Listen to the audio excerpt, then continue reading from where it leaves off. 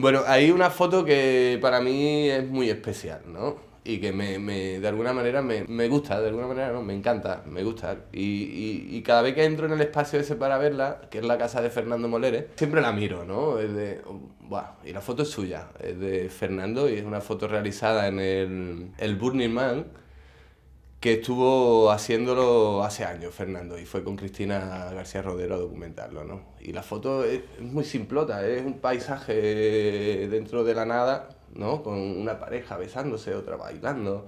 Son como cinco figuras que hay dentro del espacio. Es una imagen que, que cuando la miras tendrá ganas de, de, de, de, volar, de bailar, de, de, hacer que la cabeza se te vaya a otro lugar. ¿no? Me transmite libertad, me transmite sensaciones, me transmite profesionalidad, me transmite entender lo que está ocurriendo el fotógrafo en ese lugar.